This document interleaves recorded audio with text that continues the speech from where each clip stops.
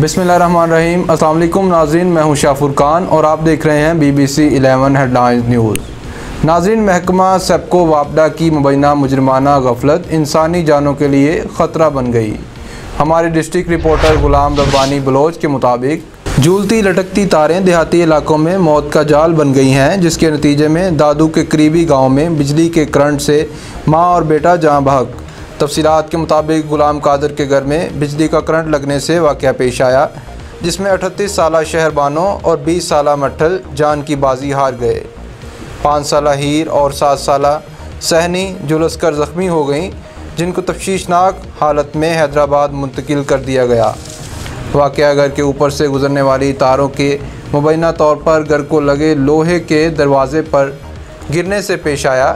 Police ذرائع کے مطابق واقعہ کی مکمل تفتیش کی جائے گی۔ ناظرین، ماضی میں بھی اس علاقے میں سپکو وابڈا کی جھولتی لٹکتی تاروں کے باعث افسوسناک واقعات رونما ہو چکے ہیں۔